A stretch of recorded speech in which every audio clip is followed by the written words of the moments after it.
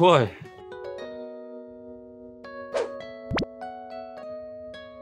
늘 피곤해하지만 유능한 기획자인데 저보단 잘생겼어요. 젊고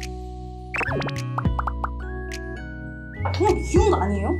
귀엽다고요? 반미 눈막 이렇게 동그래가지고